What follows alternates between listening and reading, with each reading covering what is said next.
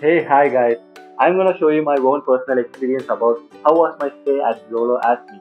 This Zolo Asmi is located at Marathalli, Bangalore. It is nearby Bagmane Solarium City and this is Sri Srinivasa Residency property. And I don't know, it might be above sixth floor. Yeah, let's come and see what are other things inside the Zolo Asmi. Yeah, this is parking slot, so we can park our vehicle here. This is reception. Now we can book and let's see what are other things inside the Zolo Asmi. And this is a notice board that saying delivery person not allowed inside the premises, save water, and there is a CCTV camera also. Yeah, let's see what other things inside the Zolo Asmi.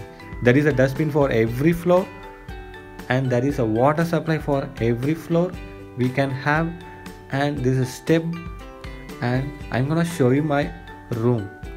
This is my floor and this is my room. This is a common area for everyone. This is as easy uh, like TV. This is a sofa. There is a shoe rack also and this is bathroom and finally this is my room and i'm taking three sharing and the right side bed is my bed it might be a clumsy don't take care of that and this is a key uh, for your cupboard. They will give you the time of uh, joining and you can store your own personal like, things in, in that cupboard as per your own responsibility. There is a key also for your room. There is a dustbin for your room also.